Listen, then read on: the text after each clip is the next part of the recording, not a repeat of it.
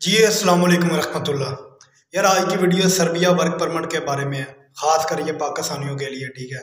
और बहुत ही ज़्यादा लोग जो है ना, मेरी इस वीडियो के लिए इंतज़ार कर रहे थे कि सर्बिया के वर्क परमिट के जो लड़के ईरान गए ठीक है? उनका क्या मसला बना, क्या वीज़े, ठीक है? और वीज़ा रेशू, ठीक है? ये सब कुछ जो है ना, इस वीडियो के अंदर मैं बताऊँगा, ठीक है? मकम्मल आपको बताऊँगा यार पाकिस्तान में अभी जो है ना, इस वक्त ट्रेंड जो है ना अरूज पर है, सर्बिया वर्क परमिट का। तो इंडिया के जो वीज़ा ऑन अराइवल था, उन्होंने वो तो चक्कर ख़त्म कर दिया, ठीक है। इंडिया का इसलिए ख़त्म कर दिया क्योंकि इंडिया के एजेंट जो है ना, इसका फ़ायदा उठा रहे थे, नजायज़। लोगों को डन बेस के लोगों का विज़िट वीज़ा ये वीज़ा ऑन अराइवल जो है, उनको ले जाते थे। उधर से सर्बिया से डंकी लगाते थे जो शेंजन में एंट्री करवा देते थे, ठीक है। जंटो का वो जो है ना सर्बिया दरवाज़ा बन चुका था। इसलिए जो है ना सर्बिया वालों ने वीज़ा ऑन अराइवल इंडिया का बंद कर दिया। तो बात करते हैं पाकिस्तान की। पाकिस्तान में एक ये भी फवाह चल रही थी। फवाह नहीं है तो हकीकत है। सर्बिया का जो विज़िट वीज़ा, वो तो एक डॉलर फ़ीस है, इसमें कोई शक नहीं है, ठीक है?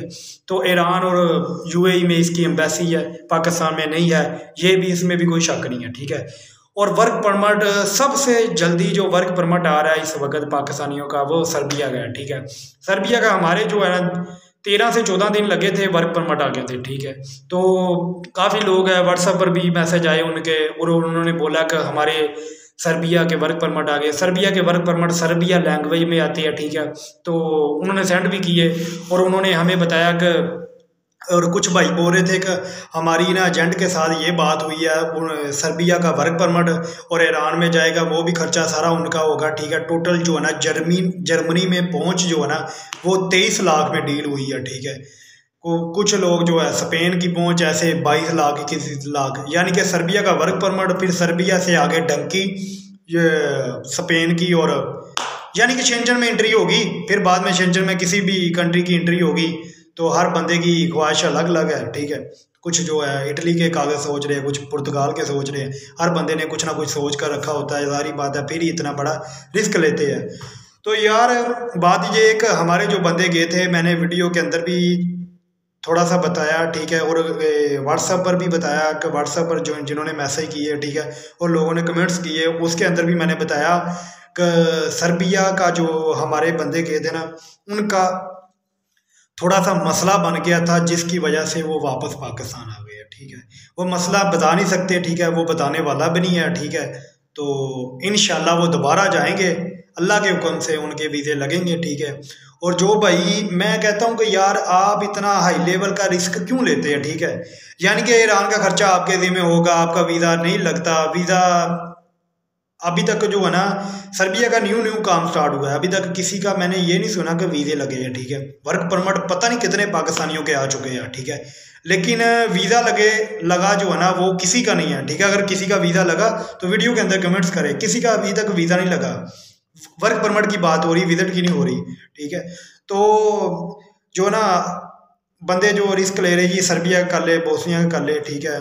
तो बोसनिया के अभी हमने अप्लाई की है, लेकिन अभी तक उनके वर्क परमिट नहीं आए, डेढ़ मंथ हो गया, ठीक है?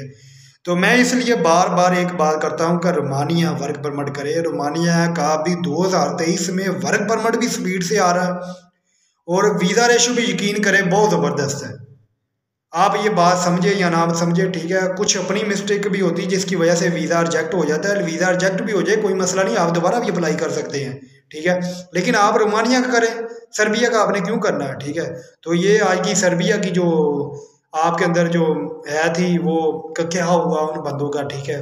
वो क्लियर होगी ठीक है? इसके बारे में अभी सवाल ना करना और ये भी ना पूछना अभी बार बार कि नहीं, उनके साथ हुआ क्या? ठीक है? आप ये समझ ले समझ ले कि उनके वीज़े रिजेक्ट हो गए, ये समझ ले आप, ठीक है? तो इसलिए सर्बिया के हमने बहुत मेहनत की थी, ठीक है? सर्बिया की भी, पोलैंड की भी। तो दोनों का नहीं हुआ, ठीक है? सर्बिया का तो कोई मसला बन गया ना मेजर मसला बना। तो पोलैंड का जो है ना, वो तो वीज़े रिजेक्ट हो गए थे, लेकिन वो तो वर्क परमिट की वजह से हुए थे। यानी कि वर्क परमिट जो है ना कंपनी जो है ना, उनका करेक्टर अच्छा नहीं था। तो अभी जो नेक्स्ट होंगे इन उम्मीद है को, कुछ ना कुछ तो लगेंगे। बाकी अपना ख्याल रखे दुआ में याद रखे असल वालेकुम